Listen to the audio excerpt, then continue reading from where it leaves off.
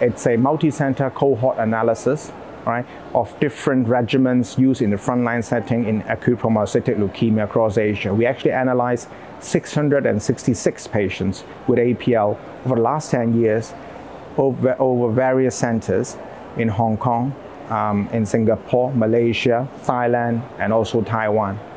And uh, we actually, there were key uh, observations, right? We actually observed that oral arsenic trioxide-based regimens, um, as well as intravenous arsenic trioxide-based regimens, improved uh, the 60-day survival. That is, they would have lower chances of early deaths during induction or lower chances of induction mortality. So that's one thing. And secondly, as far as overall survival and relapse-free survival, as well as post 60-day survival is concerned, the oral arsenic trioxide-based regimen had superior results compared to intravenous arsenic trioxide-based regimen or ATRA chemotherapy-based regimen.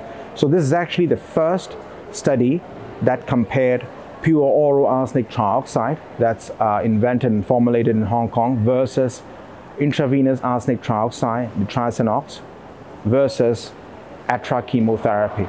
It's a first comparative analysis uh, in the real world setting, which proved that oral arsenic trioxide based regimens improve patient outcomes in terms of reduction in early deaths, reduction in relapses, as well as improvement in the overall survivals.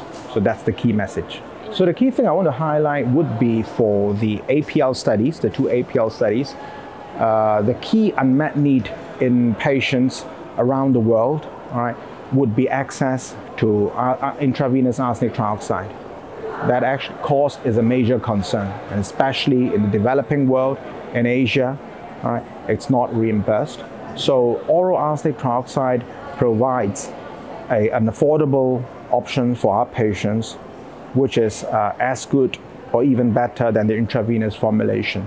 So the, this particular, these studies would actually pave the way for further studies that would help disseminate the use of oral arsenic trioxide across the globe. So that's a very important thing. And also in an outpatient setting.